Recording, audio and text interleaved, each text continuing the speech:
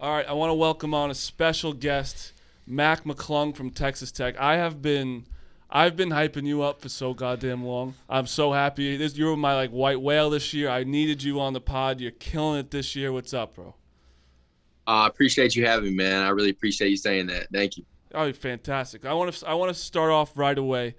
So, when you were in high school, I, obviously I was I, I knew you everyone knew you. Did you like feel like you had like six cocks walking around because you had like 700,000 Instagram followers especially in high school? If you have like a thousand you're like yo I'm pretty sick. Yeah no it was weird. I'm, I'm from a real small town so like I didn't realize that like people knew me like they knew me until I got out of that small town. So I was in the small town just thinking you know I'm on the internet and all that and then I started going places and people were like yo you're Mac. I'm like what? Like it, it was it was very surreal. But no, I didn't even really notice it was it was that big until I got out. Well, the uh, the all time front runner we heard slid into your DMs. Uh, I know you're a fan of his, but I just happen to think he's uh, an all time front runner. Drake was DMing you, right? Right. Yeah. At yeah. a point, was DMing me, asked for my jersey. Um, uh-huh. Super cool, super nice guy. Ah. Um, that's his that's his mo, man. He sees it. You know, no disrespect to you, but somebody starts succeeding, he's got to hitch his wagon. So I'm not really a big Drake guy. I think that's where we bump heads. But respect, bro. You're 17. You got to rap a DM Drake, you. Drake, who's in your DMs? Ah, uh, Molly Mush. Yeah, so what's that like when Drake's in your DMs? Are you screenshotting it and sending it to the world, or is it just like a holy crap moment? He's in my DMs. Yeah, um, I think uh, I kind of saw I was eating Zaxby's actually with my friends, and he, uh, my friends just saw me. He's like, "Bro, are you ever gonna follow Drake back?" And I was like, what? Drake follows me? Like I didn't follow me. And uh, I got on there and I, I saw the DM and my friends freaked out. It was it was super cool moment just being a kid from from the middle of nowhere, like someone like Drake reaching out to you. It's just it's it's really cool. But yeah, I mean he's just he's a person just like all of us. So I don't really look at um, things like that in those terms. That's just because you're like a professional, pretty much. Like if I, anyone is in my DMs, I'm like, oh, this is pretty sick. Um, so we want to talk to you a little bit about uh, your process of going to Texas Tech. So what's the process like? Like when so you you are transferring from Georgetown. Was it like right away? So many teams coming after you because then you have to. Is it like redoing everything like how you went to Georgetown, like visiting and talking to people, or? Yeah, with the COVID, I couldn't go anywhere, so it was really hard. Um, like I'm sure a lot of the great transfers, like um, this year, when you put your name out, it is like it's crazy. Like everyone's calling you at the same time. You're trying to make time, trying to get some sleep, trying to work out. It, it was it was crazy for sure. Um, but you know, shout out to my parents. They really helped me. we did a lot of research on every every school. Talked to every every coach a bunch of times, and you know, we just felt like Texas Tech was just it was just it, I just had to go there, no matter if it was 20 hours away or what. It just the place I had to be. So you mentioned you're a Virginia guy. Of course, you started your college career in D.C. and now you're in Lubbock, Texas. What's the biggest difference? I'm sure there's plenty between Washington D.C. and Lubbock. You know, it's kind of the same. No, I'm just kidding. It's uh, it's really different. Um, the people are different. The the speed I think is the biggest in those big cities. You know, everybody's just doing what they got to do. But people um people here just real friendly country people that you know I enjoy being around. So it's it's been good so far. You uh you grew up in a very athletic family, right? You, your dad was a player. I know you, your sister is really good at soccer, right? I read that your dad used to have to throw you out of your gym, the gym so your sister could work out in peace. But the interesting thing I read at Christmas, you guys would make games to compete for your presents. You even had your own deal or no deal. What the hell is that? And how did you play for Christmas presents? Yeah, I don't even remember all that. I don't. I don't what happened with that story, but I don't know. I remember the uh, the gym thing, and I would always give my sister a real hard time or try to like compete with her and do this, and she's trying to work out on soccer. And but I don't I don't know if the deal or no deal is true. I don't I don't. All right. Well, that gets probably to Jake's next question about journalists. yeah. So, uh, of course, you hit that game winner against Texas. Um, and I think it was Fran Fraschilla. Was it Fran interviewing yeah, him? Right. Uh, and then you said, "I'm sorry, Fran. My teammates want me to celebrate." Uh, so my question is, why do you disrespect journalists like that? um, I didn't mean to. I think I just had to had to weigh the options. My yeah. team, they were wait looking at me like, "Come on, come on!" And then my coach was like, "Come on!" I was like, "I got to go." So, you know, I didn't want to. I wanted to celebrate with them. I thought that would be best at the time. Me and Fran could could figure it out later. hundred percent, and I totally respect we, that decision. We talked to Fran after he goes, "Yeah, I was kind of happy he left. I thought it was so cool that he left." But also, Jake's in a shirt and tie right now. He's going to fucking announce Jenga after this interview. So like, that's how much of a journalist this fucking guy is. Gotta stay professional. And speaking of family too, how many people ask you if Riff Raff's your cousin? Uh, just about everyone on Yep, every See, he's my cousin, but um, we're not related. But I mean, no matter what I say, people are gonna say we're related. So I just kind of given up. You know, if if that's what they want to say, then it's cool with me. just let it go. Yeah, that's exactly with what you have yeah. to do. He's coming here too. He's Riff Raff's great. So no matter, even though he's not your cousin, he's your cousin. I'm I'm gonna let it go With that. Right. We're, we're uh we're big fans of Chris Beard. We think he's a great coach. Um, obviously, your first year playing with him. What has been the biggest addition to his game, or, or I'm sorry, to your game that he's put, you know, in, in your arsenal, or I guess the biggest critique that he was like, "Hey, Mac, I like what you're doing, but we got to change this." What's been the, uh, I guess, the biggest plus from from playing for Chris Beard? Yeah, I just I trust that guy so much. He um he literally just gave him giving me the the platform and the the whole um, map of how to how to make it and how to um improve what I need to improve on. Like with the film room, like he just he kind of just lays everything out for you that it's it's so true and he shows you why it's true and he he just works so hard that um you know he, he showed me so many things about my percentages and my um, my pace and, and getting my teammates involved and, and you know also winning. I think winning's the most important. That's all he cares about. That's all I care about. So that's the biggest thing I think is just learning how to win, um, close games and and and stuff like that. We've discussed on this podcast pretty much every episode just the eliteness of the Big 12, right? Because you guys have six or seven NCAA tournament teams. Uh, the end of your regular season, Kansas, Oklahoma State, Texas, they're all probably going to the tournament. You're going to the tournament. Just speak about how the ins and outs of this gauntlet of a schedule is because you guys probably are the best conference in the country. Yeah, I think it's definitely. Um, I, I think personally, it is the best conference in the country. Um, every night, um, everyone's talented. Everyone has uh, great, great players and playmakers. I think the biggest thing is the teams that can get better and and and be the team that makes the the fewest mistakes at the end of the game. That's the team that usually wins, as we can see in the tougher teams. So it's it's definitely a battle, but you know I love it. This is what I feel like I'm built for, and I'm glad I'm I'm in this conference. Going back to Chris Beard real fast, what was the locker room like when he was like on the floor on his ass, like crying to the ref? Because that was my favorite moment the entire year. Because he's fucking electric when he's going all out like that. Yeah, no doubt. He um he didn't say much after the game. I think he did that for us. He felt that we were being kind of messed messed up, and you know he did that just to have our back. So we appreciate it, but there wasn't much that We kind of, we got back in the film room the next day and had a four or five hour film session. So we, we got it. We got. Hey, that's what he did. Five hour film session. you talked about it's a perfect segue. You talked about the film, and we've obviously said it. Like, I mean, you're in the purest form a, a shooter. You know, like you get hot and, and you just start going. But in the film review with with Chris Beard, is there a little bit of a discussion as far as good shot, bad shot? Because it's difficult. Because obviously their best shot is is giving the ball to their best player, and when you're feeling it, you may be pulling from 35. But in hindsight, has he helped you be like, hey, listen, this is where we might want to work a clock, or how do those discussions go?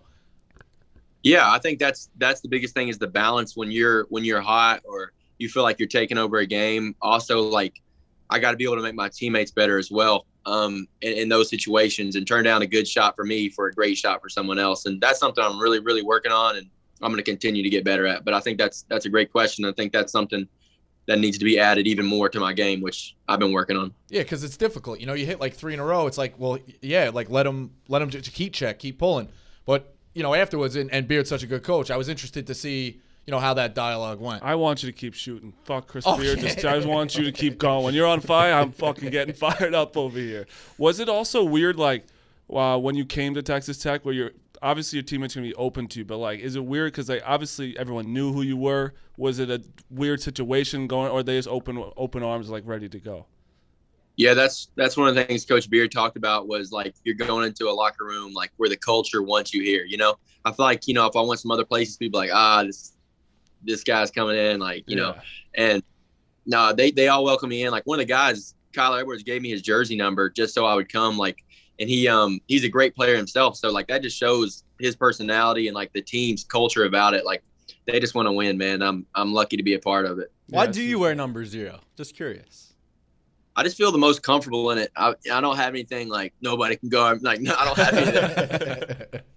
it's just that I don't know. People feel comfortable in different numbers. I, I love number zero. It's my favorite. So I did a lot of research on you before on just like how Pardon My Take does on Wikipedia, and you know you could change that. Did you really break your arm and of snowboarding, and that's when your shot got better? Yeah, I broke my arm.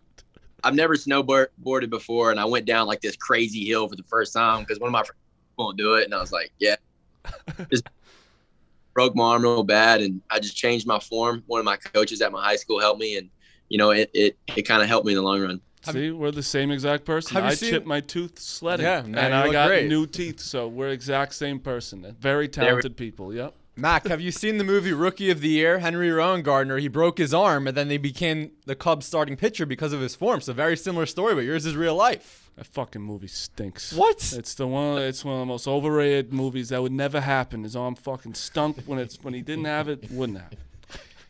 So I take you haven't seen it. yeah, no, I have not seen it. All right, highly recommend. Um, so we talked a lot about the uniqueness of this college basketball season with COVID, right? Um, fans aren't present at the majority of these games, but Texas Tech is lucky because every time I'm watching a game, the fans are out. You guys have a limited capacity, and sometimes I have to do a double take and see, wait, is that piped in noise or is that real fans? And you, the Red, Red Raider fans are coming out swinging. You guys are loud. How much does that help, especially when you're going on the road and some teams may not have fans in the crowd? Yeah, I think it's big time. I, the atmosphere has been crazy for COVID. I think um, I, I don't know if there's any team that has a, a, following like we do during this COVID. So it's it's been great, and um and we're lucky to be, have a fan section like we do. Um. So I don't know if you're declaring for the draft. I don't want to even. I don't even want to know. But um, I'm gonna put you through a little bit of a test of what like when you have those Zoom conferences with like combine with, stuff. Yeah, the combine stuff. So quick questions. All right. Okay. I've asked only, and hopefully no one else listens to this that's come on the show. I only asked the best play is this, so brace yourselves. So, if you're in a hypothetical, you're in, uh, you either go to jail for 12 years with your best friend, or you okay. go and you won't get hurt. You could play sports, but it's 12 years no matter what. Or you go into the jungle with a monkey as your best friend who you could talk to, and you get a care package every day, but you'll never ever talk to another human being again. What do you take? So I'm not getting out of the jungle. I'm gonna be in the jungle the whole time. In the jungle the whole time, and you get a care package of food every day, and you get shelter. But your best friend's a monkey. Yeah, no, I gotta be with the boys. I, I was 12 years with the boys for sure. Yeah, it makes everyone's picked that besides me. It's a wild question, but it is starting to get a theme that these guys are just tough. Yeah, these guys are just tougher than us. Like I ain't going to jail. Oh, everyone's like, I'm going. I could play basketball yeah. there. I could work out. It's like I'm just want to be friends with a monkey, bro. Um, why isn't the inside of a glue bottle stick to each other? You know, I'm sure the people who built that um figured that out. I'm not, I'm not too good with all that. I'm I haven't um you know made many things in my life, so um, very, I'm not for sure. Very humble, not bad. It That's all humble. I really got for you. That was only I was really it's really just two questions that I want to ask people. I think I have two more. Um, what would you say? It's it's been a couple months now. You're starting to guys getting your groove, and it seems like they're relying on you a little bit more. But what would you say is, I guess, the biggest thing you guys need to do or improve on to get back to the national championship game? Yeah, um, that's definitely the goal. Um, I think we got to come together a little more. I think we're, um, you know, a really bonded team, but on the court, we're going to come together a little more. We're going to fix our defensive problems. And um, you know, personally, I think great players make other players great. So I think we got to work on that. Personally, I got to work on that um, and hold myself accountable for that. But I think those are the biggest things.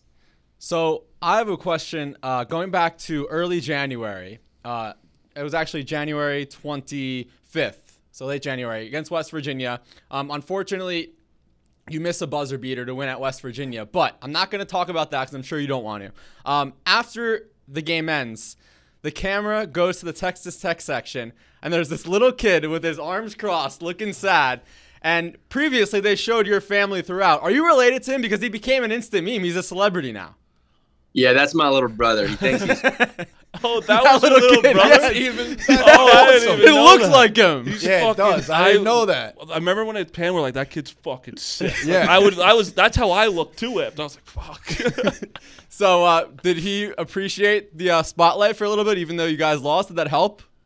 No, he loved it. Um, the funny thing was, uh, it was perfect timing, but I think it was about like a toy train. I don't even think it was about the game. What, did his train broke like as the game ended or something? Your mom took Yeah. his train or Bob- something. It was perfect timing though. Uh, that's That's unbelievable. unbelievable. That's I mean, they look like twins. Come on. No, yeah, I know, but now it's great. even funnier. That makes it even better. Yeah. That's hilarious. And uh, I guess we'll get out of here on this one. Big Cat, the only song that Big Cat can sing is Landslide that he performs publicly, other than the national anthem. You're a big Fleetwood Mac fan. What's your favorite song? Yeah, I mean, Landslide's such a good song. I like. Uh, right now, I've been listening to Everywhere. Um, Okay. I love that song. Everyone loves Dreams and Landslide, but um, yeah, those are my favorites right now. Right now, I'm listening to Everywhere by Fleetwood Mac. Silver Silver Springs is a is a deep cut too. The two people hate each other. They're performing it like staring at each other's face, and they hate each other. It's a good listen for you. Did you only Right. listen to it because it has Mac in it? No, actually, my dad. um, then I just kind of like the vibe. All I love that. And just letting you know that watch out for Rico after this. So everyone we interview, he tries to get him in a hype group. Every time you hit a three, he'll start putting putting emojis in. He'll probably harass you somehow online. So he started his podcast just so he can say he's friends with these people. So just watch out. All right. I appreciate it. I appreciate it. No, I appreciate you coming on. I've again, Texas Tech is my. I I think you guys are gonna go far, at least uh, definitely to the Final Four. So good luck for the rest of the season, and we'll be in touch. All right, man. All right. Thank you very much, guys. Thanks a lot, Thanks, Mac. man. Thanks, Mac. Appreciate, Appreciate it.